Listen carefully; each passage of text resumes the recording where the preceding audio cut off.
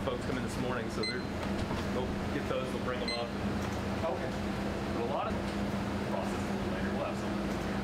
How quick is the turnaround on test? So this is a test which tells a uh, tells us and the physician if a patient has been exposed to COVID-19.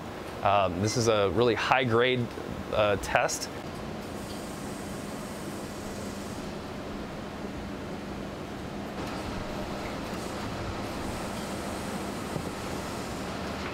does say COVID on it. Go ahead.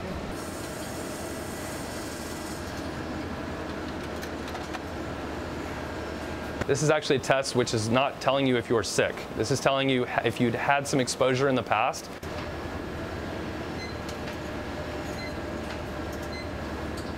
We were ready to run this a week ago, but we went through additional testing to ensure that these were going to be highly reliable. This test that we're running is actually FDA approved. There's a lot of tests on the market right now that are not, uh, but Abbott did go through the painstaking process of getting FDA approval.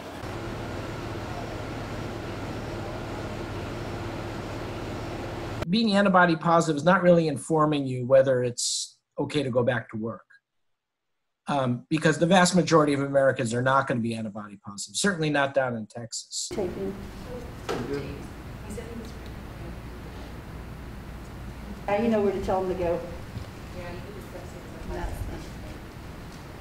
And it may become relevant because, you know, if you're antibody positive, you may not need to be vaccinated. Vaccines available. But for right now, I don't see antibody testing as a big, is, is not a priority.